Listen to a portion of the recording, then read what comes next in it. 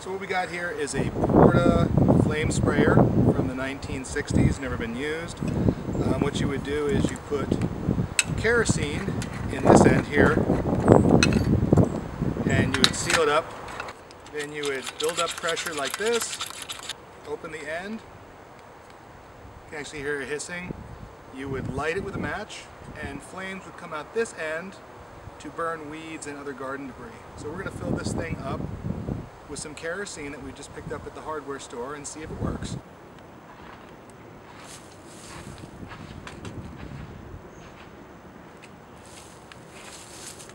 Let's let that go for a few minutes. I don't feel too safe standing by it.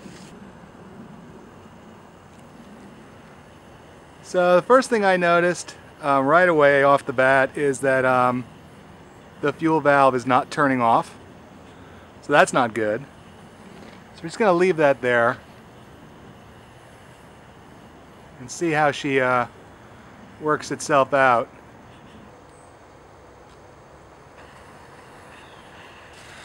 Okay, that's definitely burning cleaner than before. I think because it's warmed up, we're getting more of a, a positive stream going. It says in the instructions to keep pumping it if it starts to go down, so we're to keep an eye out for that. Still don't feel confident picking it up and holding it. It says it'll start turning, the flames will start turning bluer uh, the longer it's lit. Let's go see, it looks like it just went out. I think maybe the rubber gaskets inside that help maintain the pressure may have degraded because it's so old. It's uh, 40, 45 years old. You know, and even though it's never been used, it probably uses a rubber gasket and it's probably just sort of uh, rotted. So we're going to take it apart after it's gone out, empty the fuel, and uh, we'll go from there. Thanks for watching.